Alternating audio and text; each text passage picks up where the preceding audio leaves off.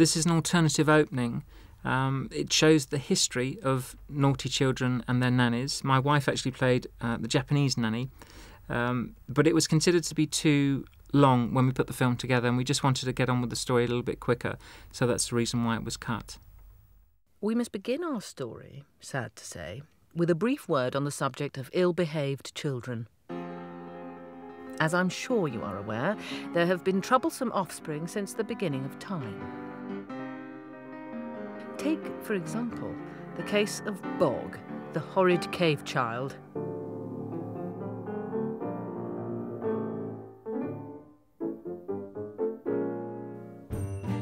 Or, for instance, little Achmet and Ramses,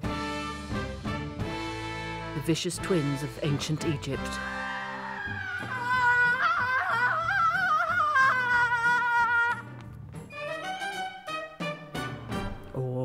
Horrible to relate, Obu, Nobu, and Shobu, the vile sisters of medieval Japan.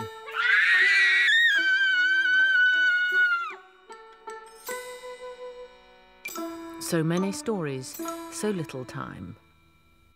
Let us turn, therefore, without further ado, to the Brown children of Finchley Lane in the London suburb of Totteridge, whose legendary unpleasantness we are about to examine in greater depth. The Brown children, whom we shall meet momentarily, were all very clever and all very badly behaved. They.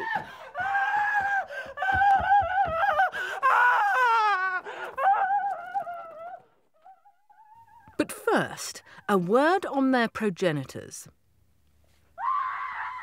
Their mother, Mrs. Brown, through dint of her heroic childbearing efforts, was, as is so common in stories about children, dead. Their father, Mr. Brown, worked from dawn till dusk, seven days a week, as a make-up artist at the local funeral parlour, Midgewaller and Sons. Unfortunately, the wage from this establishment could not begin to cover the costs of seven children, which was why his income was amplified by a monthly allowance from his late wife's aunt, Lady Adelaide Stitch. A worrier by nature, Mr. Brown had thought that his family crisis could not possibly get worse. He was wrong. They've eaten the baby! Derek Jacobi and Patrick Barlow's double act as, as Wheen and Jowls was proven to be so entertaining that Emma wrote another scene. Um, it didn't make the cut in the end because we just wanted to keep the story very focused and keep everything moving along. Um, but this scene shows them locking up the undertakers late at night and they're discussing whether the next morning they should still continue to jump out of their coffins to frighten Mr. Brown or whether they should take the dramatic decision to jump out of the cupboard.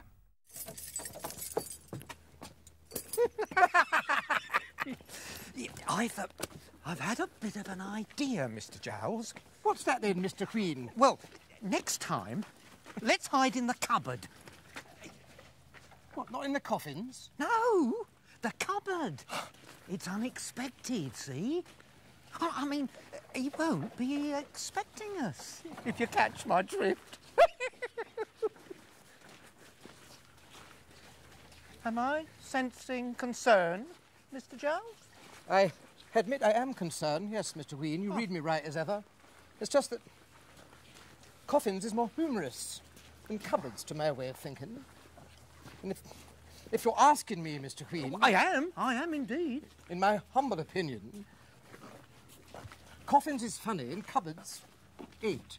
Oh, right you are, Mr. Jowls, right you are. Coffins it is.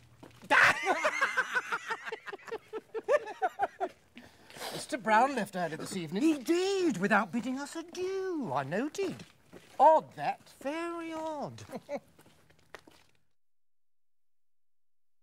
This next scene was, was filmed for a couple of reasons. First of all, uh, it showed Evangeline uh, attempting to post a letter to Mrs. Quickly. Um, but there were a number of letters featured within the film, and at one point we found that the letters were getting very confusing. So that's one of the reasons why we cut this scene.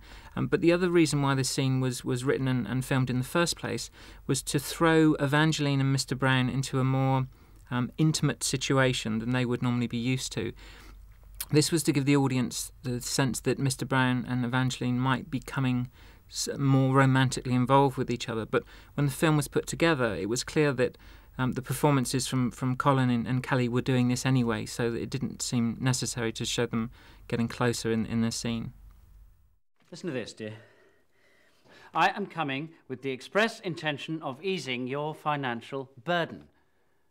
Maybe she thought the better of my having to remarry, cost of a wedding and so forth. Perhaps I won't have to go through with it after all. Mrs. Quickly. Evangeline.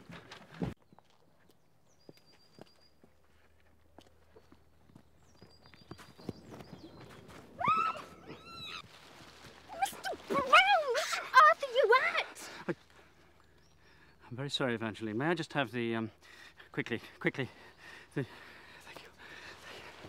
Thought that letter was urgent. Well, no, I'm glad you mentioned that because, well, it was urgent, but, well, no, it might not be. No, what I mean, no, no, what, what, what I'm I trying to say, what, what you're I, up to, Mr. Brown. On, and on considering a... what you're up to, perhaps it isn't sensible to be seen walking about in public arm in arm with your scullery maid.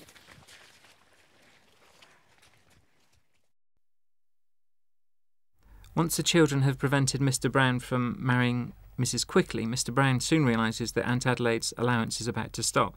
So he starts to gather a number of possessions together in his house with a view to selling them. And we introduce a character called Mr. Sapless, who's a very dodgy local businessman. Uh, I'd worked with David Kelly on Waking Ned, and he'd very kindly agreed to um, to come over from Ireland to, to play this very small part, which made it even more difficult to um, to cut the scene. But when we looked at the film um, as a whole, it just became very confusing to introduce a new character for, for such a short scene. Nice face, this. Oh no, no, no! I'm sorry, I couldn't possibly part with that. That's that's that's.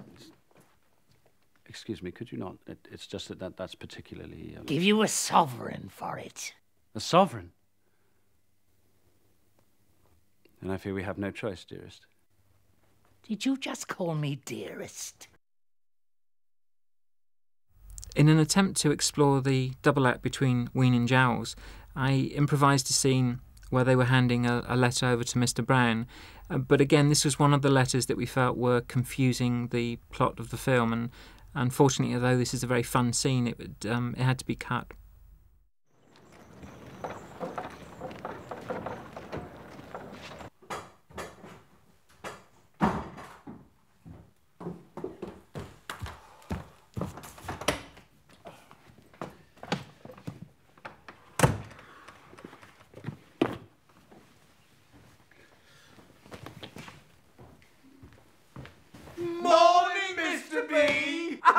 Mr. Jowls?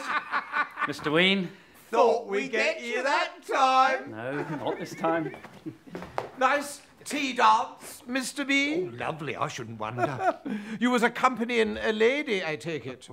One of the widows, perhaps? no, no, I didn't even get there. Disaster children, you know. We do know. We've said it before and we'll say it again, Mr. B. It's not funerals as you should be in the business of. It's, it's christenings. oh, another lady dropped by this morning with a billet-doux for you, Mr. B. Oh. Mrs. Elton it was. Oh. Do you remember her, Mr. B? Oh. Oh. Widow of Mr. Frederick Elton? she was in a right old lather, she was. Oh, but don't worry, Mr. B. Plenty more fish in the sea. Good morning. Just excuse me a moment, would you? Dear Mr. Brown, I sat at Mrs. Riley's entirely alone for one and one half hours yesterday, and can only say that a person who has subjected me to that degree of social embarrassment should not be asking for second chances. Yours, etc., Mrs. Prudence Elton. Oh dear. Oh dear, oh dear, oh dear. What's your wife like?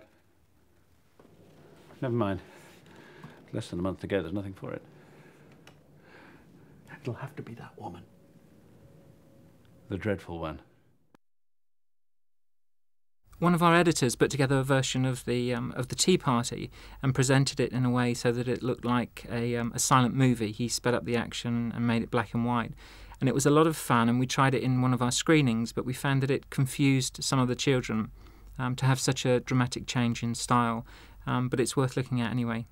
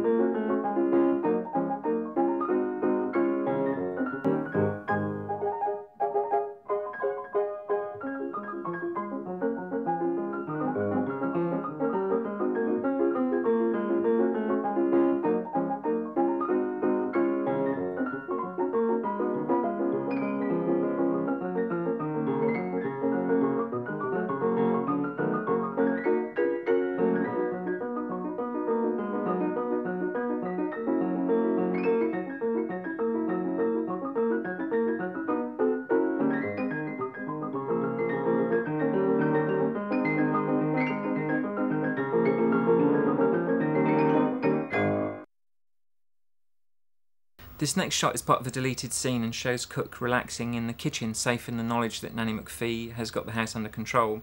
What none of us knew was that Colin Firth, who had finished the film two weeks earlier and I believe was on holiday, uh, secretly returned to the studio, dressed up as Nanny McPhee in full makeup, um, and made a surprise appearance um, in this shot. If you look very carefully at the staircase um, in the back of the kitchen, then you'll see Colin Firth making his debut appearance as Nanny McPhee.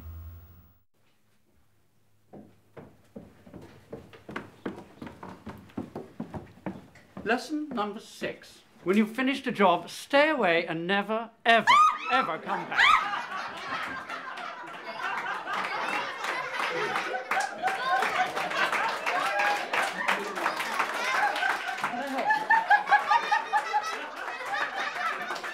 I'll be here as long as you neither need me nor want me. Good night, children.